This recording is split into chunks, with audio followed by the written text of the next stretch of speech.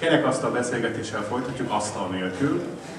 Uh, Star Trek a Star Trek lesz a téma, konkrétan ugye a J.J. Abrams féle uh, új filmek, és és a sorozatok összehasonlítás, illetve ezzel kapcsolatos kérdéseket, és bemutatnám a résztvevőket.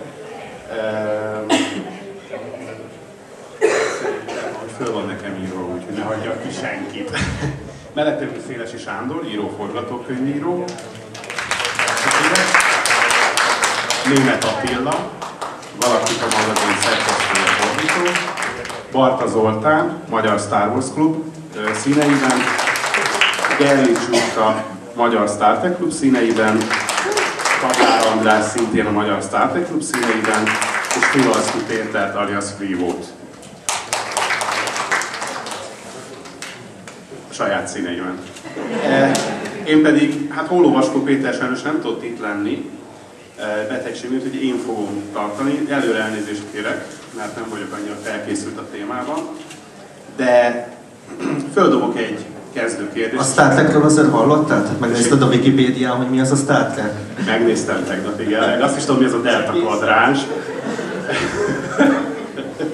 Megkaptam egy gyors talpalót Um, tehát, hogy, hogy kezdjük a, a tévával, Ugye néhány éve megmutattak mozifilmeket, egész pontosan kettőt, ami eléggé megosztotta a Star Trek rajongóit, régieket és újakat.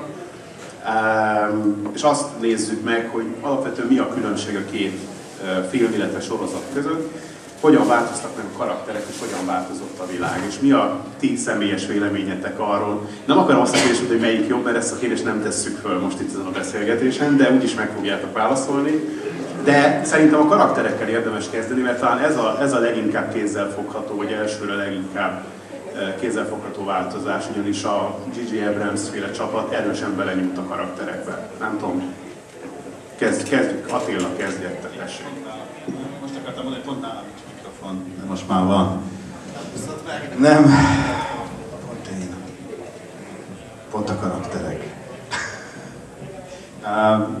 Rólam azt hiszem, hogy ilyen Star Trek-es berkekben eléggé közismert, hogy Kirkmániás vagyok, mármint kedvelem a Shatner féle Kirk karakter. Ezzel azt hiszem talán kisebbségben vagyok, akár itt a színpadon, akár az egész világon, de ez különösebben nem tud érdekelni. Hát ehhez képest ez a tejfölös szájú legényke, ez annyira nem fogott meg engem az első filmben. A másodikban már nem őt nem szerettem, de az már egy újabb tészta.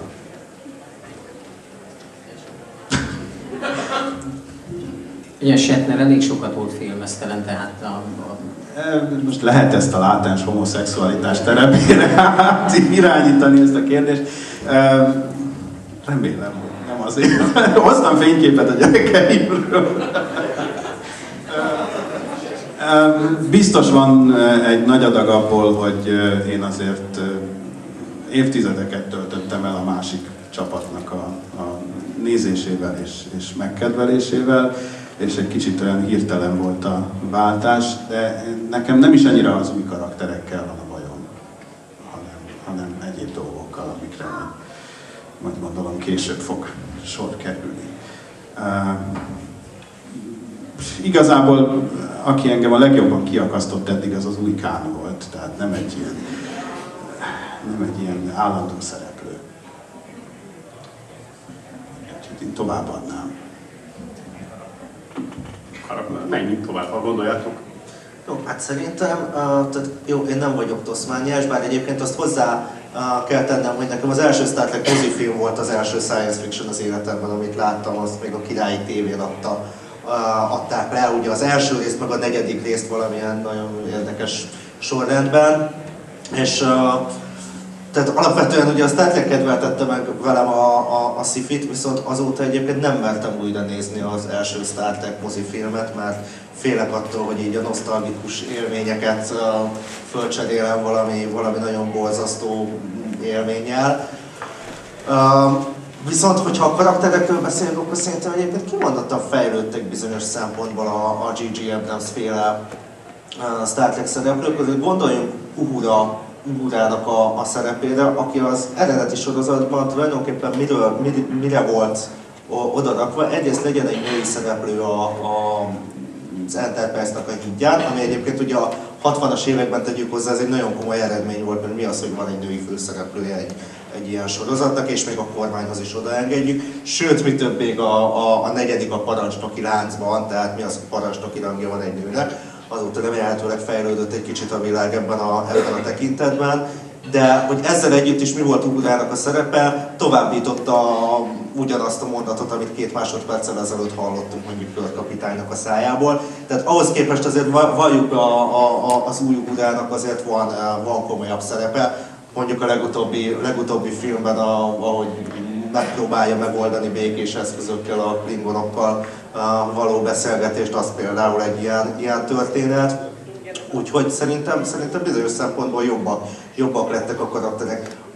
Színészek tekintetében, uh, meg hát azért, tehát Kirk kapitánynak az eredeti megformálóját, William Shatnert összehasonlítani Chris Pine-nal, hát most inkább nem mondanék semmilyen ilyen vérbevászó dolgot, hogy szerintem Chris Pine jobb Kirk kapitány, mint, mint Shatner volt. És akkor most jöhetnek a lövések. Én nem lövök, mert egyetértek veled. Tehát a, a eredeti gárda az szerethető, körülbelül úgy, ahogy mit tudom én a, a, a 50 évvel ezelőtti filmeket szeretjük, meg nagyon jó Kabos Gyulát nézni, meg Latabá Kálmán. De tudomásul kell venni, hogy néhány évtized elteltével mind a karakteralkotás, karaktervezetés, karakterépítés, ami ugye a a filmben különböző embereknek a dolga, ezek, ezek megváltoztak, és szükség volt arra, hogy változzanak a karakterek a, a sorozathoz képest, hogyha olyan karaktereket kaptak volna elő, mint annó az eredeti szériában, akkor a filmek nézettsége valahol a, a Z moziknak a, a alsó szintjét verte volna fordítani. A mikrofodat légy szívet, begerjedek tőle. Köszönöm szépen. Ezt így most írtál Hallod? Ugye? Szóval mindenféleképpen szükség volt a, a, a főszereplőknek a, az átfazonírozására némiképpen, és, és beemelni például Scotty mellé egy, egy poén karakter. Tehát mindenféleképpen jól érezte Gigi Abrams, hogy, hogy szükség, van, szükség van modernizálni ahhoz, hogy, hogy új nézőket fogjon meg ez a világegyetem, és nagyon jól érezte azt például, hogy és akkor, hogy a másik oldalra is kitérjek, hogy a, a gonoszokat is gonoszá kell tenni, tehát az a kicsit Z-kategóriás Disneylandből előléptetett Kán, aki a, a eredeti mozifilmekben látható, annak a lecserélése Campbell az egy zseniális dolog volt, és a, az egész karakternek a, az újból felépítése az meg egy hihetetlenül jól sikerült, zseniális dolog volt. Tehát őszintén szólva kellett. Nagy, nagyon-nagyon-nagyon kellett ez a változás. És akkor most lőjetek te. Most, most lövök, várj egy picit. Tehát csak reagálnék egy mondattal erre a, a Scotty féle új pincsi kutyára, ami kb. olyan szintű karakter, mint valamikor a 60-as években a Lost in Space-ben, ha jól emlékszem, behoztak egy ilyen szamárfülű alien majmot. Tehát kb. azt produkálja. Egy, egy fokkal jobb volt, mint az eredeti sorozatban a zöldre festett lányok, akik uh, William Shatner ah. ki, ki uh, fényezett, kifényezett szemébe zuhantak bele, mint, mint pillangók a, a lángba, a, a lángjába. Oké, okay, azért, Oké, okay, jó. Fura egy ember. Hát nem tudom, hogy mire reagáljak először. Én, ha, ha Scotty mellé szeretnék egy vicces karaktert, én speciál szívesen látnám Nick, Nick Frostot, te esetleg uh, a Shaun of the Dead-ből, vagy uh, aki uh, ugye sokat játszott együtt Simon Pegg-kel ha már nagyon muszáj egy vicces karakter mellé, bár szerintem nem. A karakterek változása, én nem érzek akkora változást magukban a karakterekben, nagyon próbálták hasonlóvá tenni a karaktereket, ami, ami nekem furcsa volt, egyrészt nem, nem nagyon szerettem a szereposztás egyes részeit, különösen Chris Pine-t. Más színészekkel viszont elégedett vagyok, akik, akik jobban hozták az eredetihez hasonló karaktereket.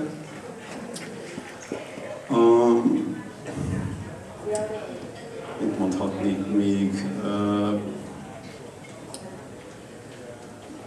Én, engem a karakterek közötti viszonyok változása zavart. Például Úra és, és Spock és Úra. Most milyen szerepe van Úrának? Úra azért van ott, hogy uh, Spockot, a uh, pasiát folyamatosan az érzelmeivel bombázza.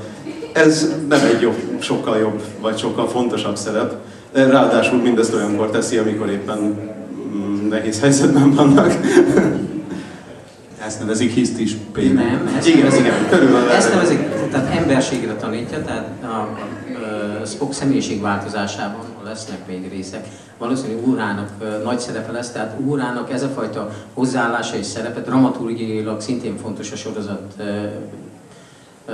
kapcsán. Ó, basszus, hol hallottam én ezt már, hogy előre egy nagy ív föl van építve, és majd mindent megmagyarázunk. Bocsánat. Szoktak ilyet csinálni, ha hiszed, ha nem a profit.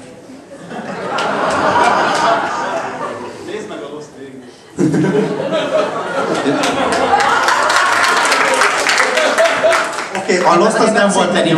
Most ebben az egyben. A, a, a lost kapcsolatban szerintem egyetértünk, tehát az, az nem volt G.G. Abrams legjobb húzása, maradjunk ennyiben, de tehát az Uhura versus Spock kérdéskörben egyébként szerintem pont az a jó, hogy, hogy jobban kiemeli, ugye azért volt három évad a, a, évada az eredeti sorozatnak arra, hogy fölépítse azt, hogy, hogy Spocknak a vívódása az emberi és a vulkán, vulkáni felek között. Szerintem az, hogy, hogy egy sokkal rövidebb mozifilmben ugyanezt be lehessen mutatni, szerintem kifejezetten jó az, hogy, hogy beledobták Ugudát ebbe a, ebbe a helyzetbe, és, és így egy kicsit jobban polarizálva. Nem, nem tűnik nagyon logikusnak fenntartani ezt a kapcsolatot.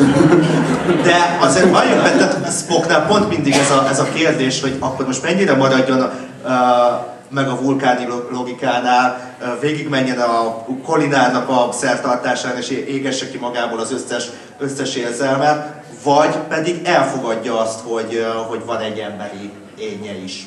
És szerintem ezt egy, ezt egy két órás mozifilmben nem tudod ugyanúgy bemutatni, mint a, mint a sorozatban, és ráadásul szerintem a sorozatban sem volt eredetileg ez annyira, annyira tökéletesen bemutatva.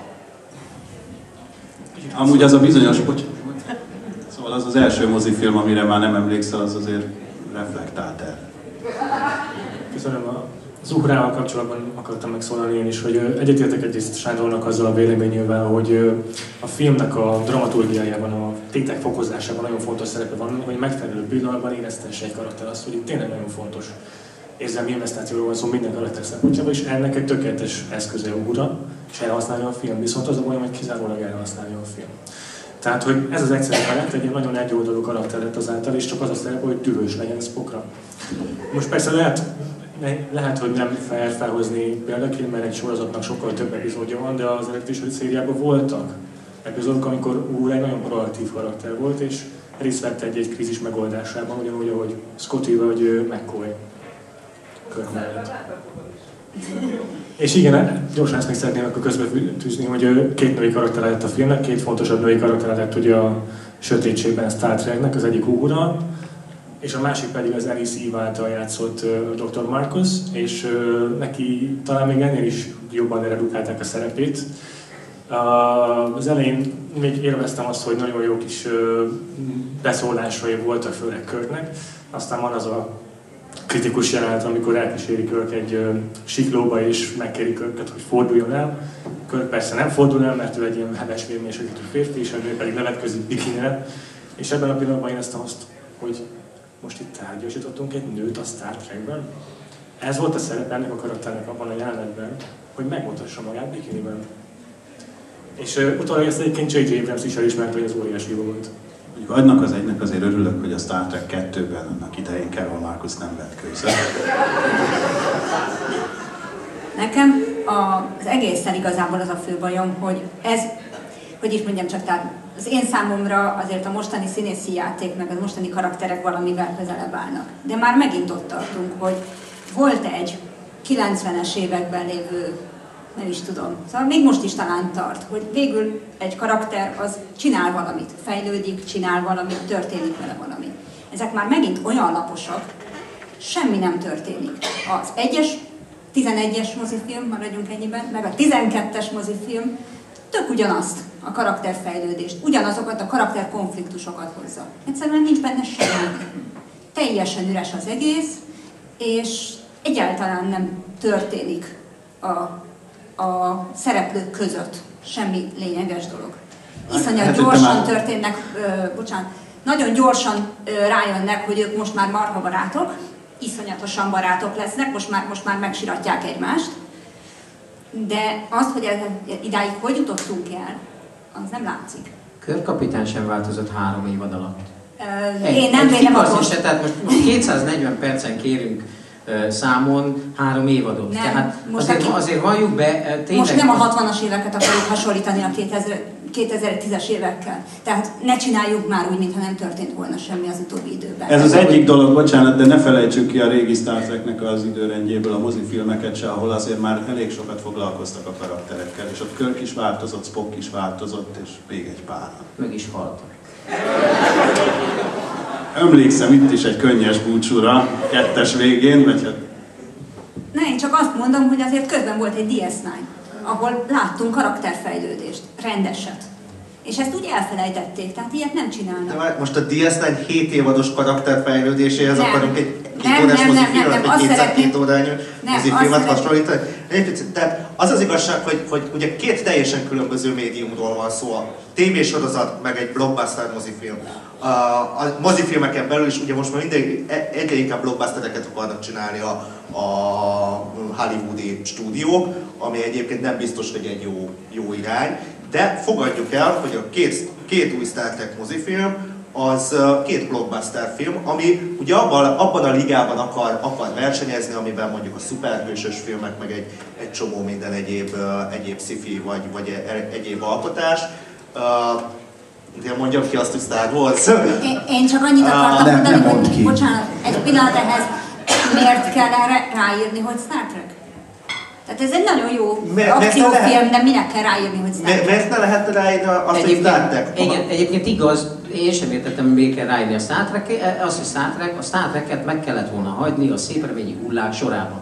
Van néhány sorozat, a TOS-tól az Enterprise-ig, az az utolsó nagy rugása volt, e, aztán az szépen kimúlt az egész legenda, lassacskán már bomlik 6 méterrel a föld alatt, ha kiásnánk, akkor szaga lenne, valljuk be.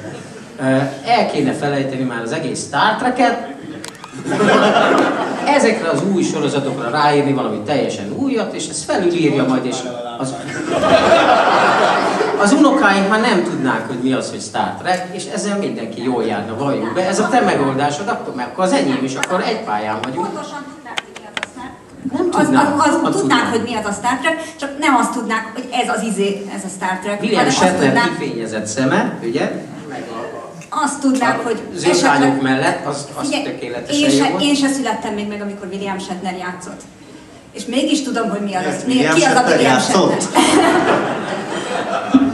De, de akár hívhatnák Star Treknek is, de miért hívják a főszereplőt Kirknek? Tehát miért nem hívják Smith, Captain Smithnek? Kovács Béla. Kovács Béla kapitány, a USS, uh, Árpád. USS Árpád kapitánya, uh, mellette Mr. Spork,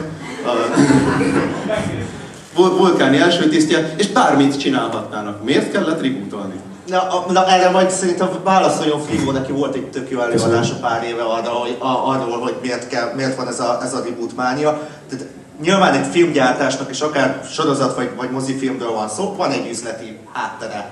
Pont. Uh, föl fogják használni azokat a bejáratott és ismert rendeket, uh, amik, amiket már ismernek a rajongók. Szirmai Gergelynek volt egy jó mondata pont a, a, a mondokonon, hogy onnantól kezdődik a művészet, hogy megkapja az az adott rendező vagy, vagy forgatókönyvíró a, a, a lehetőséget, és onnantól kezdve tegye bele azt, hogy, hogy, hogy tényleg jó legyen az, a, a, az, a, az az adott produktum. Amit még az előző gondolatomhoz akartam hozzátenni, hogy a, ezt a két Star Trek mozifilmet amit J.J. Abrams csinált, mi a franciát nem a korábbi 10 darab mozifilmhez hasonlítjuk, ami, amire jött, mert akkor szerintem, hogyha egy sorrendet felállítanánk, akkor magasan a két J.J. Abrams film vezetne, tehát most az az istenkeresős film, tehát azt szerintem ki kéne írtani a Star Trek-nek a, a, a kánonjából, vagy gondoljunk a Nemezisre, ami szerintem a világegyetem legdrágább rajongói filmje, és egyben a legrosszabb. Tehát ilyenek is vannak ebben a sorban. Amit én is személy szerint fájlalok, hogy igen, az, hogy Gigi Abrams elkezdett egy uh, megcsinált két mozifilmet, azzal egyébként lehetőség nyílt volna arra, hogy na jó, akkor érezzük újra a Star mutassuk be egy új közönségnek, már, már, már, már van egy olyan új réteg, aki, aki már nem egészen tudja, hogy miért, miért rajongunk mi ezért a sorozatért, meg mi a jó ezekben a mai szemmel már elagott díszletekben, elagott rendezési technikákban, stb. És miért nem csinálunk egy, egy új, modern tévésorozatot? És ugye tévésorozatok terén baromi nagy fejlődés ment végbe az elmúlt három-négy évben. Tehát ugye az enterprise pont az volt a, a, a bukás, hogy a, az, még, az még pont azelőtt készült el, hogy elkezdtek volna bejönni az új sorozatkészítési metódusok. Tehát miért nem csinálunk egy sorozatot? Nyilván ennek az az oka, hogy szerteszét vannak a jogok, tehát a, CBS-nél vannak a, a, a sorozatjogok, a Paramount-nál a, a, a, a mozifilmjogok, könyörgöm, tehát ne, ne hasonlítsuk az almát a körtével, tehát mozifilmet hasonlítsunk már mozifilmhez szerintem. És bocsánat, de a korábbi mozifilmek is próbáltak volna blockbusterek lenni, csak baromira nem sikerült. Tehát ez volt, ez volt a leg, leg, egyik legfontosabb probléma, hogy nem tudtak uh, az eredeti Star Trek rajongókon kívül más nézőket becsábítani a moziba, és ez meg gazdaságilag nem működik. Szóval én szerintem az eredeti, a mozifilmek közül, hát én egyet gondolok jónak, úgyis, mint Star Trek klubtag. Ez a nyolcas különben. De igazából teljesen mindegy. Én First contact.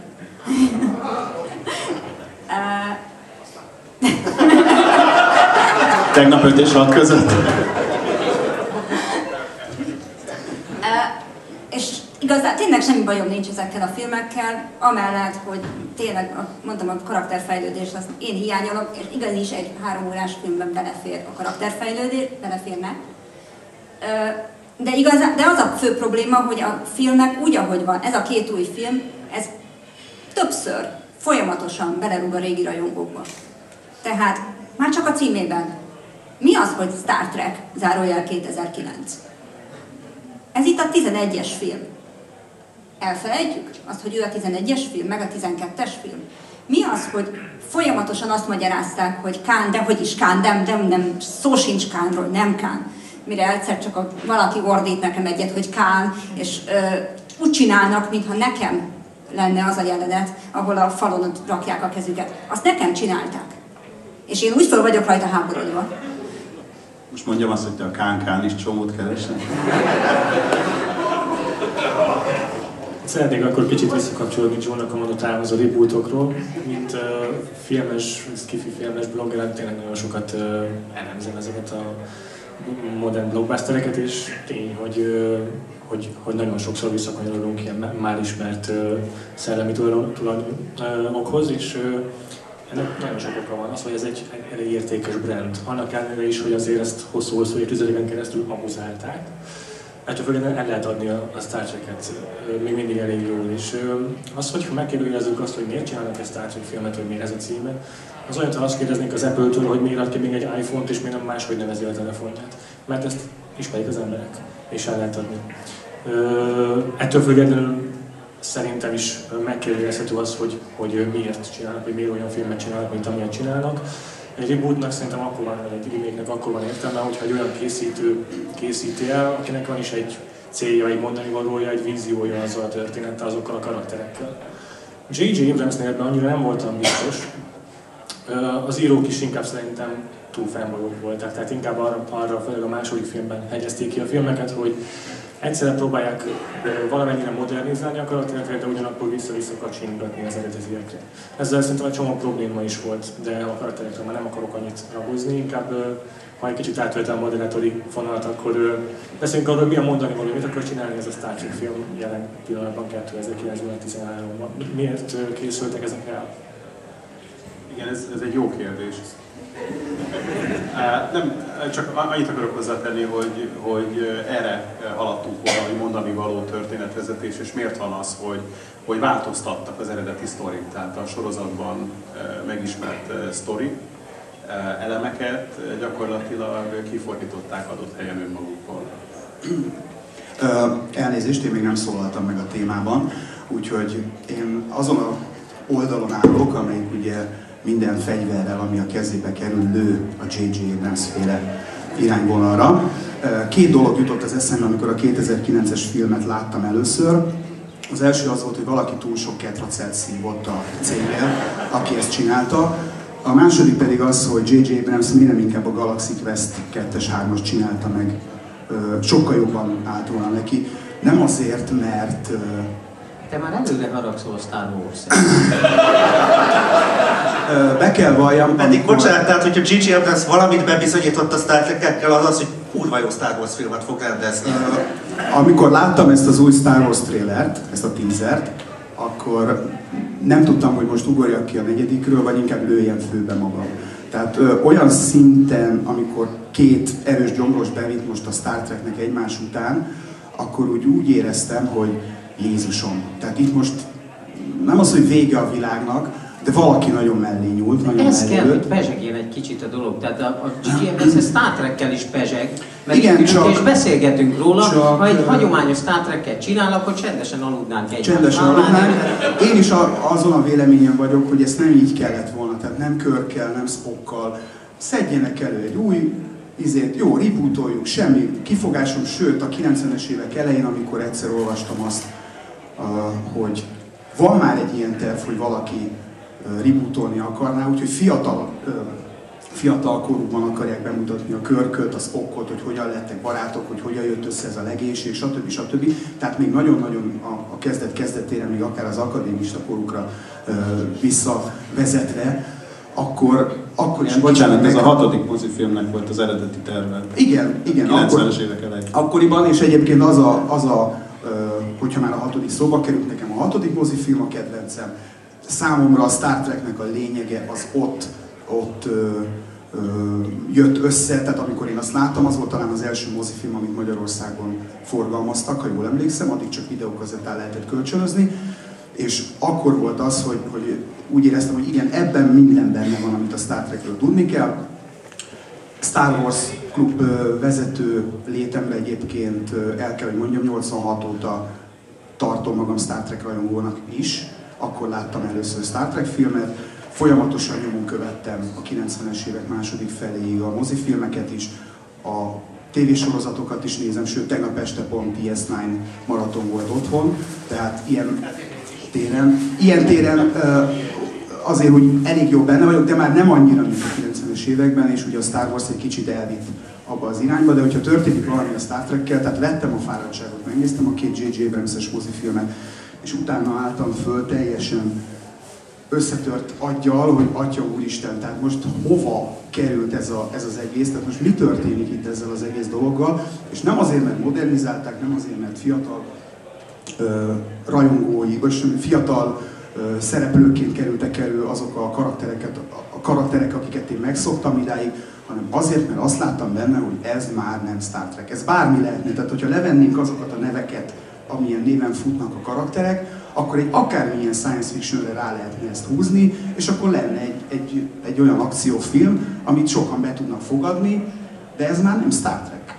Tehát ezt, ezt én már ezt én már nem, nem tudom így, így kezdeni. De várj, mi a Star Trek? Tehát akkor, akkor fogalmazd meg, hogy mi a Star Trek. Tényleg a, a, a William Shatnernek a szeme, a Pikár kapitánynak a, a búrája, vagy, vagy a DS9 borzasztóan rossz Számomra a Star Trek adott egy olyasfajta filozófiát még a 80-as, 90-es években, ami egyfajta jövőképet mutatott, tehát tipikusan ugye azok, amiket mindenki szerintem, aki itt ül, ismer, hogy mitől Star Trek a Star Trek, hogy egy olyan jövőkép, ami, ami még esetleg vállalható is, vagy esetleg elfogadható is lenne, és helyette most kapunk egy ultramodern, ilyen csili ez a lensflerezett, agyon világított, agyon izé. De azt tudod, hogy 50 év alatt változott a jövőképünk. Tudom, hogy Tehát egy 50 év olyan változott, ilyen, ilyen de- harmadik világháborús atombombás jövőképet, És még mindig motorra járunk, még mindig kétüléses ezt már nem lehet eladni, tehát az valljuk be, tehát amikor ragaszkodik az ember ilyen avit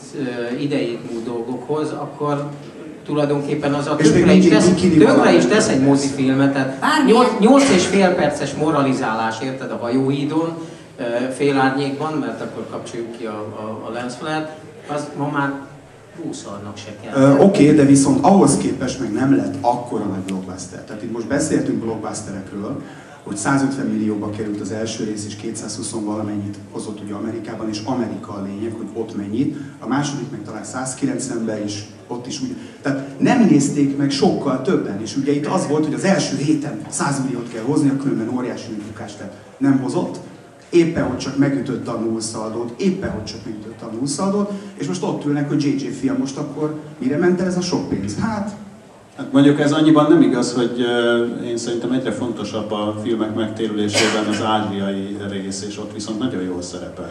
A második mindenképp, most az elsőben nem vagyok biztos, de szerintem. Azt tudjátok, hogy a Harry Potter veszteséges lett. de ott könyvelési problémák miatt vesz- veszteséges, mint azt is tudom. Várj, ez akkor szokott veszteséges lenni, a hoztalékot kell fizetni. Csak egy- csak a, egy felé mondat. Hollywood accountingnek hívják azt, ami a magyar vállalkozóknak az alapmentalitása, hogy akkor hogyan kell kreatívan kö- könyvelni. Tehát, de valószínűleg, tehát jó, persze nem hozott fél milliárd dollárt a, se az első, se a más- második Star Trek film, de nem hiszem, hogy nagyon telesírták a stúdiófőnökök a párnájukat a végelszámolást megtekintve. Hát de lehet, J.J. Abrams lebukott a Star Wars egy egészen. le, lebukott sajnos, és én ezt nagyon nagy ö, ö, siránkozás közben vettem tudomásul, és nem csak én, hanem úgy veszem észre, hogy azért a, a Star Wars-os rajongói közösségben elég sokan. Tehát utána, amikor erről Azt nem elkezdtünk- mondta, hogy egy új New Hope-ot akartok. Tehát Nem, én mondjuk a magam részéről kíváncsian várom 2015-ben az új Star Wars Holiday Special-t. Én egy kicsit rettegek ettől. Tehát amikor megkérdezte tőlem egy, egy ember nem, nem is olyan régen, figyelj, te nem félsz ettől az új Star Wars-os, nem, én rettegek. Tehát én szó szerint én rettegek attól, hogy mi fog minket várni 17-én, ugye december 17-én lesz a magyar premier, hogy mi, mi, mire fogunk beülni és kijönni, és biztos iszonyatos nagy fénykarpárák, párbajok, mert most már tudjuk, hárman fognak ott verekedni, és mint az állat, de most akkor úgy fogunk felállni, köszi, de ez már nem Star Wars, tehát teljesen jó. Várjál, hogyha neked két gyomros bevitt az előzetes, várd meg, amíg bejelentik nyilvánosan, hogy a főgonosz nem lesz más, mint William Shatner. Tehát ő már nem csak gyomrost fog bevinni a Star Wars-nak, hanem még bele is rúg egyet a biztonság kedvéért, és akkor... Figyelj, a Star Wars-nak három baromi nagy gyomros bevittek ezzel az előzmény trilógiával, tehát szerintem innentől kezdve nem, nincsen olyan túl magasan a mérce. Vissza fogjuk még mi a sírni, attól félek. Jar Jar Binks még nem volt a Ö, trailerben. Igen, de Jar Jar Abrams már igen. A, a Star Trek a téma. De voltak oda a Star Wars-ot J.J. Abrams kapcsán. Mondjátok, hogy nem akarom senkibe se benne szakajtani a szót. Az új Star Trek filmekkel kapcsolatban kicsit a magam oldal ellen beszélnék, de mondhatjuk azt, hogy ez már nem a régi Star Trek valóban. De én nem voltam akkor életben, de tudom jól, hogy amikor megjelent az első a pilotja, vagy bejelentették a TNG-t, ugyanazt mondtam mindenki, hogy ki ez a kopasz francia. És aztán utána, amikor, meg- mikor bejelentették a Deep Space Nine-t, akkor azt mondták, hogy ki ez a kopasz fekete, aki egy űrállomáson és az űrben utazva, és egyáltalán nem volt semmi köze az addig ismert Star Trek-ekhez, a Deep Space Nine-nak, nyilván azon, akkor is el is fordultak egy csomóan a sorozattól, mégis ma már kultusza van, mégis ma már úgy is, úgy is, úgy is fújjuk fel, hogy az egy része a Star Trek mitosznak, az univerzumnak, és nem, nem kérdezi még senki sem a státuszát. De ugyan kérem, ma már a Voyagernek is kultusza van. Ehhez képest akkor már az Abrams filmeknek is lesz. Szóval azt akarom ezzel mondani, hogy minden egyes inkarnációnak megvoltak, megvolt az ellentábora, megvoltak az ellenzői, és ö, vajon ettől különbözik-e a mostani filmeknek a megítélése? Hát ö, én azt gondolom, hogy egyrészt ebben a két filmben valahogy nem volt gondolat, de ez lenne a filmekben nem szokott általában. Tényleg a Star Trek filmekben sem szokott. De amikor a 12-es filmben sikerült az általános iskolai tudományt természettudományt így alulról, tehát a Hidegfúziós hidegfúzió, fúziót. a hidegfúziót, meg az Enterprise a tengerfenekén. Hát, hogy is mondjam csak, szerintem az arculköpése volt minden Star Trek rajongónak. Nem csak azt látják, hogy gondolok, szerintem az összességében a film, mint a produktum probléma. Egyébként Az egész, ahhoz, hogy az a... egész világnak a számonköpése volt, és ebben a galaxis többi lakóját. Szemenköpése, bocsánat. Galaxis összes lakóját beleszám. Kicsit nekem van egy olyan érzésem, hogy túlspilázzátok ezt a dolgot. Tehát én, én, én nem kaptam infarktust, amikor a víz alól felemelkedett a, izé, az Enterprise, ezt így őszintén Hát szerintem a főgépész azt kapott volna. Egyébként meg arról, hogy a Star Trekben van-e gondolat vagy nem, azért ha más nem, azt próbálta közvetíteni, hogy a, a problémákat pró- próbáljuk megoldani inkább észszel, mint ököllel. Most ehhez képest a legutóbbi Star Trek filmben Spock és Khan minimum 10 perces ökölharca, az a mélypont volt. Az egész film arról szólt, hogy ö, ilyen post 9-11-es traumaként hogyan dolgozzuk fel, hogyan dolgozza fel Robot Zsaruel tábornok, hogy, ö, hogy neki meg ugye a Klingonoknak egy ilyen elbaszott nagy csatahajó van. Na most ilyet már láttuk, tehát azért a 9-es film is erről szól, de, de ez nem probléma. De egyrészt a, a, a 2009-es meg a 2013-as film tök ugyanarról szólt, ugyanazokat a karakterek, ugyanazokat a dolgokat csinálták, mert nyávogták végig. Másrészt meg igen, szóval, hogy Itt, itt hadd szóljam közben, hogy most mondhatjuk azt, hogy de vajon milyen karakterfejlődés volt a filmben, vagy hogy a sorozatokat hogyan lehet összehasonlítani ezzel a két filmben, és tök jogos. Megint vagyunk azt, hogy kezeljük önálló filmként az új Star Trek-eket. Hasonlítsuk össze akkor a kortás blockbusterekkel. Az Iron Man 1-2 is ugyanez, ugyanaz, ugyanazokat a biteket, ugyanazokat a karakterfejlődési pontokat jártak be, és, és szitták, is a másodikat, hogy ez semmi, semmit sem hozott újat az elsőhöz Én most valami meglepőt mondok, képzeljétek, az elmúlt 50 évben romantikus filmek mindegyikében a fiú beleszeret a lányba, de a Star Trek filmekben azért előfordultak más igen, van, amikor fiú szeret a fiúba.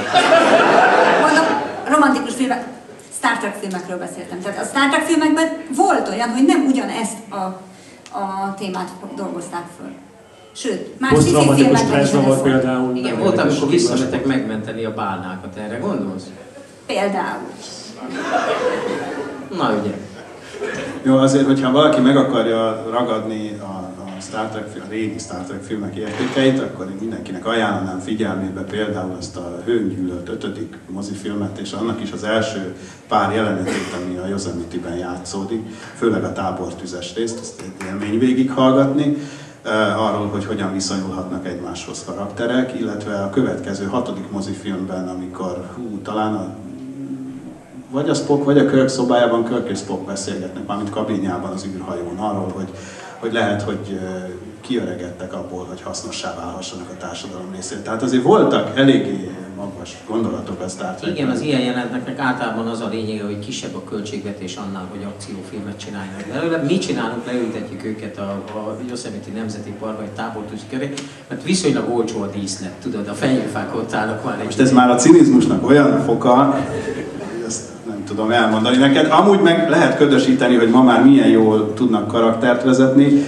de igazából a, a fő szempont ma is az, hogy ha el akarunk adni egy olyan figurát, ahol a Spock így tart egy fézert, akkor neki a filmben így kell tartani egy fézert, és tök, tök mindegy, hogy azon kívül mit Ezek csinál. akciófilmek voltak, vegyük tudomásul, a helyén kell kezelni őket.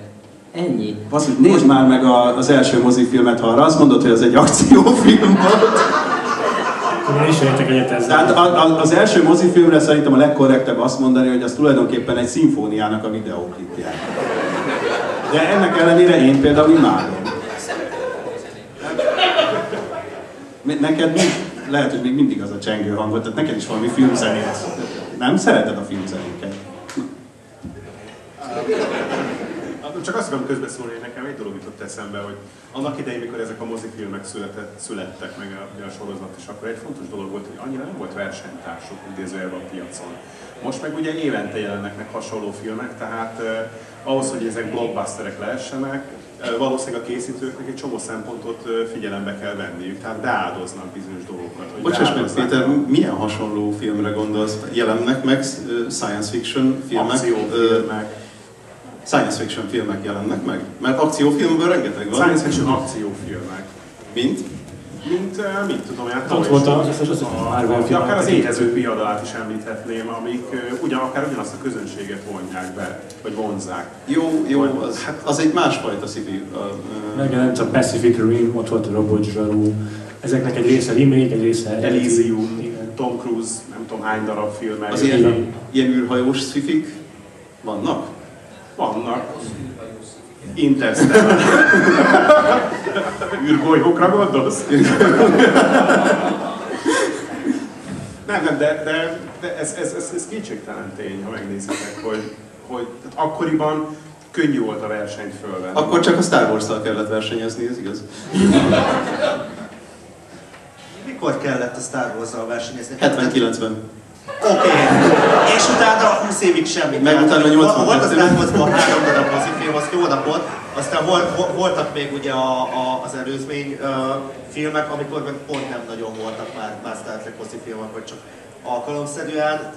Nem volt egy tehát mozipénztáraknál nem volt ilyen szempontból egy éles verseny a, a, a Star Wars-zal, meg semmivel. Most azért, tehát az, amikor lehet tudni, hogy 2020-ig milyen filmeket fog a Marvel bemutatni, csak úgy egy maga, képregényfilm, azt én nem... egy, egy magában. De film, film, úristen! Film és nagyjából ugyanaz Annak az a magyar moziról beszélünk, és moziban mutatják be azt is. tehát magyar ezért, is ezért, ezért, hozza, ezért hozza hasonlításképpen. Bocsánat, csak a rendkedvért vetném közbe, hogy 79-ben már rég nem kellett a Star Wars-szal vetélkednie, mert hogy 77-ben mutatták be a Star Wars-ot, tehát éppen a, a feltámadt igényekre reakcióként született meg a mozifilm, ahelyett, hogy csináltak volna egy új tévésorozatot. És ráadásul az. Industrial Light and Magic hathatós közreműködésével.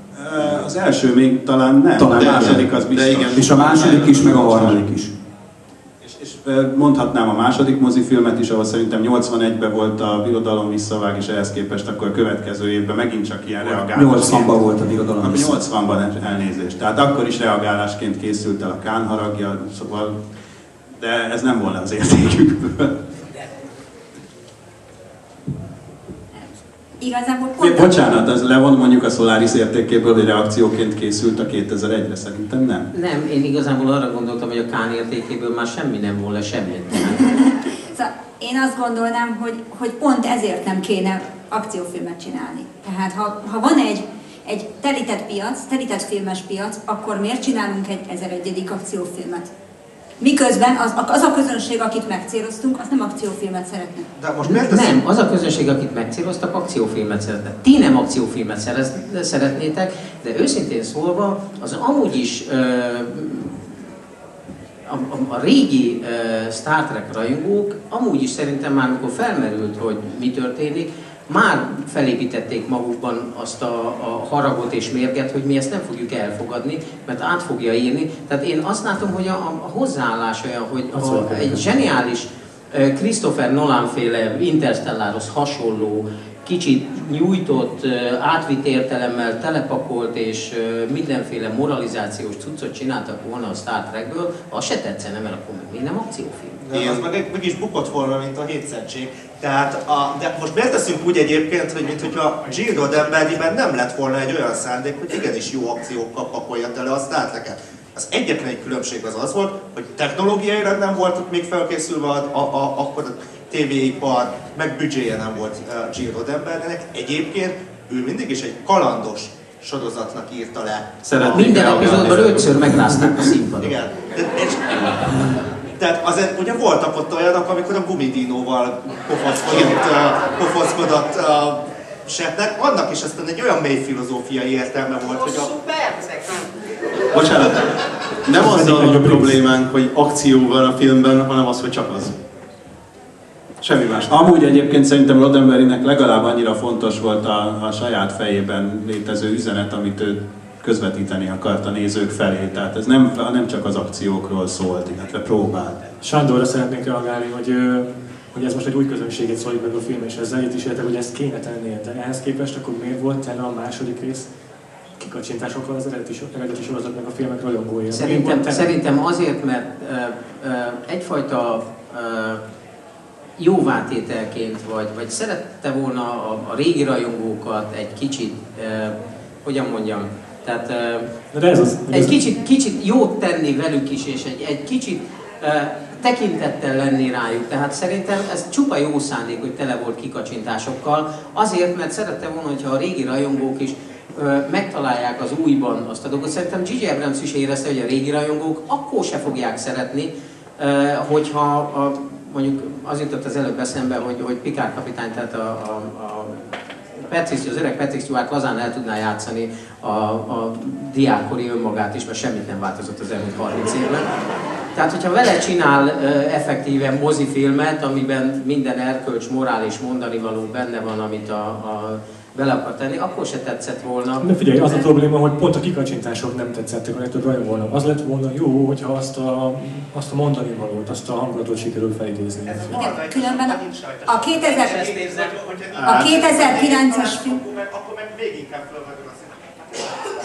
a 2009-es filmet nem utasította el annyira a rajongói közönség, pont azért, tehát én úgy jöttem ki a 2009-es filmről, hogy hát ennek nem volt története, de nem utasítottad el? De nem volt, de végül is nem olyan rossz. Tehát ebből még lehet valami, ha a következő filmnek sztoria is lesz, akkor, akkor ez, ez valami.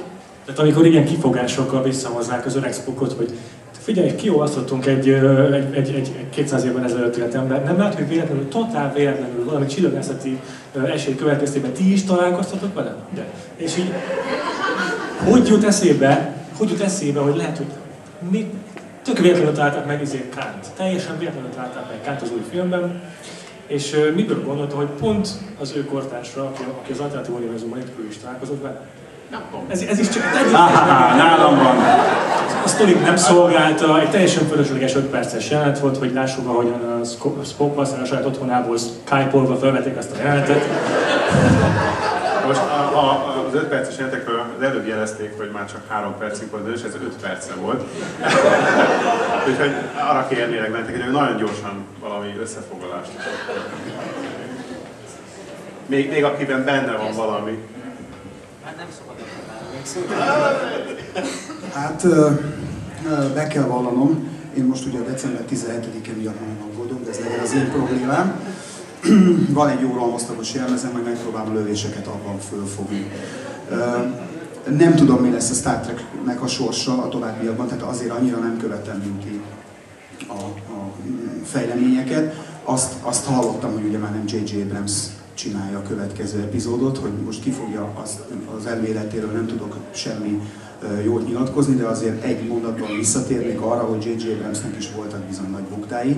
Ugye a Lost már egyszer elhangzott, hogy egy egész ígéretesnek induló sorozatot hogyan lehet elveszejteni a balfenéken, aztán ugye nemrégiben az alcatraz bukott egy hatalmasat, utána az emberi tényezővel, hogyha jól emlékszem, annak is csak egy-egy szezonja volt. Jó, ezt hozzá kell tenni, hogy az Alcatraz és az emberi tényező az, a, az, azok nagyon jó sorozatok voltak. Igen, nekem az emberi tényező is tetszett egyébként, ennek ellenére olyat bukott, mint ide Nagykáta, és ezt, ezt nem lehet ugye visszavonni, vagy nem lehet vele mit csinálni. A Star Wars biztosan hatalmas nagy sikere lesz, csak azért, mert Star Wars, csak azért, mert nagyon sokan kíváncsiak rá, hogy utána mi lesz az utóélete, majd jön egy következő ember, az csinál egy következő Star Wars filmet. Ennek, és ennek örülök, hogy nem. Tehát J.J. Abrams most kikerül a, a színről, és számomra eltűnik. És örülök annak is, hogy a Star Trekből is eltűnik. Tehát nekem az eddigi rendezői pályafutása úgy annyira nem, nem jött be. Íróként voltak jó dolgai, de, de rendezőként nem, nem éreztem. Majd amikor föltűnik, hogy ő rendezi a következő Indiana Jones-t.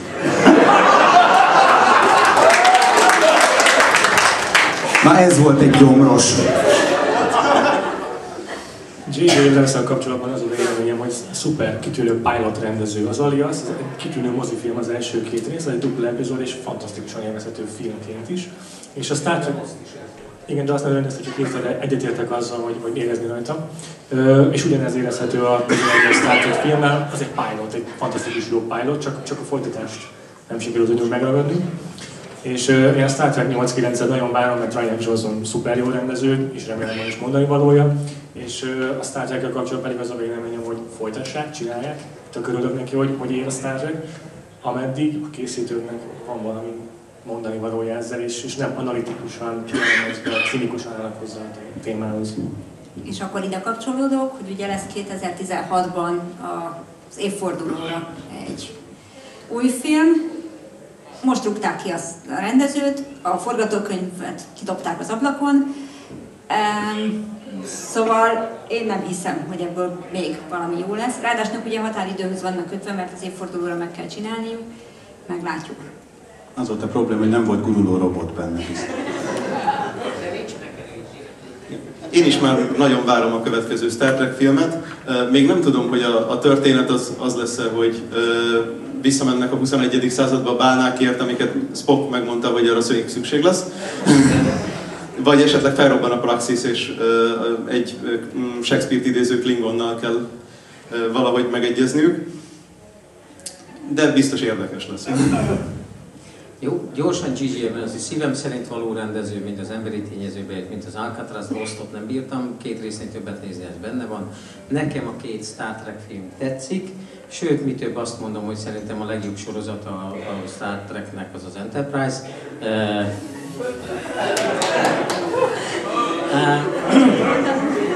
valahogy, valahogy nekem, nekem túl sok a toszban a, a filmesztelen William Shatner, bár hozzá, bár hozzá kell tennem, hogy jobb, jobb, hogy akkor vetkőzött és nem most vetkőzik. Te azt a kis izét jobban szereted hozzá, mellett. hozzá kell tennem egyébként, hogy minden uh, ilyen típusú uh, hosszan építkező világnak jót tesz az, hogyha egy rendezőt két vagy három film után lecserélnek, mert egy új látásmód jöhet, egy új rendezési stílus, egy, egy, egy újfajta történetszövés. Tehát én reménykedem abban, hogy a 2016-os film jó lesz, és megtalálják a megfelelő forgatókönyvet és a megfelelő rendezőt, és meg is szólt a telefonom, továbbadom. Jó. Én, ez egyébként Dr. Húra van állítva Sándor telefonja. Ott is ki kéne már módfatot tenni. Jó, majd e- szervezünk egyszer egy mód... Egy Dr. Hús kerekasztalt is, mondjuk nem egy Star Trek-es rendezvényre valószínűleg. Uh, én szerintem tök, tök, tök jó volt az el- előző két Star Trek film is. Én egyébként örülök azoknak a híreknek, amik, amik így kiszivárogtak a, a, azzal kapcsolatban, hogy rendezőváltás van, meg, meg forgatókönyvíróváltás van, mert a harmadik filmmel kapcsolatban én sem olvastam nagyon sok uh, bíztató dolgot, és inkább időben kapcsoljanak, hogy tényleg jó legyen a 2016-os film, és én kifejezetten azt szeretném, hogyha végre valahogy meg tudnának egyezni a CBS-szel, hogy igenis mehet tovább nyugodtan mozifilmben ez a, ez a vonal, amit a G.G. Abrams elkezdett, csak pakoljunk mellé két-három-négy sorozatot még, még pluszban, ami, ami tényleg ilyen heti szintű történet, mert az tényleg nagyon hiányzik a, a, az életünkből. És bocsánat, de hogyha például a Marvel most már meg tudja azt csinálni, hogy négy-öt sorozat a tervbe van véve a, Vagy a DC. Vagy a DC, igen, tehát a DC-nek is vannak nagyon jó, jó sorozatai, akkor ugyan kapják már össze magukat a Star Trek-nek a gazdái is, és csináljanak értelmes sorozatokat. Bőven, bőven megvan a technológiai háttér, és most már a büdzsé is ahhoz, hogy tök jó sorozatokat lehessen csinálni. Tehát, ha HBO a trónok harcával ekkora nagy hype-ot el tudott érni, akkor egy Star Trek sorozat. De a kérdés, ha a filmek képcsolatban 26 akkor a tévésorozat. Hogy Nem, de átadom a szót. Menne a Star Trek is, csak több szex legyen benne. Nem, nem ezt akartam. Én annyit akartam mondani, hogy annak idején, amikor megnéztem az első új Star Trek filmet, azt mondtam, hogy na ezt soha többet nem fogom újra megnézni. Aztán bemutatták a másodikat, és akkor gyorsan megvettem DVD-n az elsőt, mert azt mondtam, hogy hát a kettő közül valamelyiket akkor inkább ezt, és különben is az elsőben volt egy kedvenc jelenetem, amit az első nézéskor még megdöbbentem, amikor ugye a kisrác áthajt a szakadék peremén az autóval, és olyan lehetetlen szögben ugrik ki, hogy, hogy én biztosra vettem, hogy le fog esni, de nem esett le. Azóta is kitartóan nézem, hát ha egyszer leesik. Köszönjük szépen vendégeinknek, egy nagy tapsot